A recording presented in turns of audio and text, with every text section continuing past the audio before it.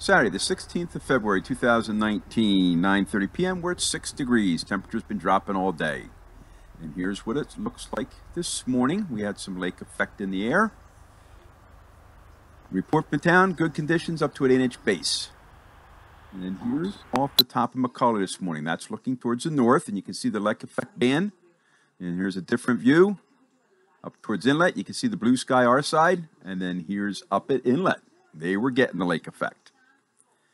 And then here's out on the trail tonight. Trails aren't looking too bad for a Saturday night and a holiday weekend. You can see there on the left side, groomers are doing their job, making it nice and smooth for everybody. And then here's last night up at Stillwater. And then you can see they got pretty good lake effect there tonight. See the jump there? And then here's the time lapse for up at Stillwater today. High today, 22. And that was at midnight last night. And the low is where we are now at the 6. Temperatures steadily been dropping all day long.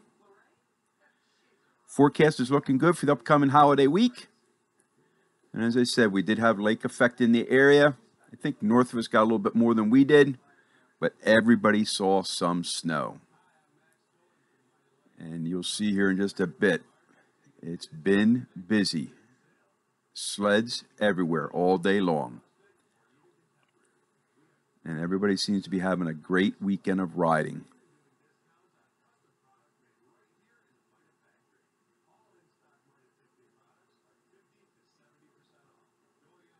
So, I hope you were up in the area this weekend and you can see yourself up here at Stillwater. And for those that have plans to get up this week for the holiday week, you're going to have a good week of riding because the long range forecast is looking good. Nice cold temperatures. Keep everything froze back down. And as I said yesterday, we had that warm up, a little bit of liquid in the warm up, and things got soft.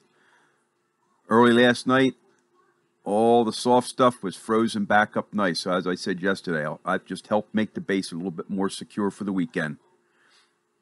Because if we do have a lot of traffic, so it helped freeze it down.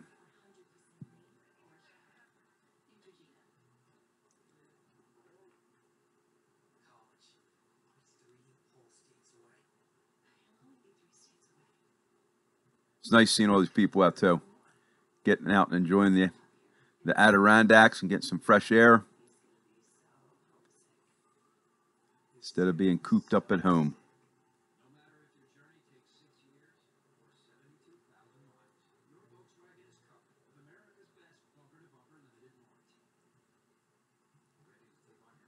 Hope you had a good one. And remember, see ya.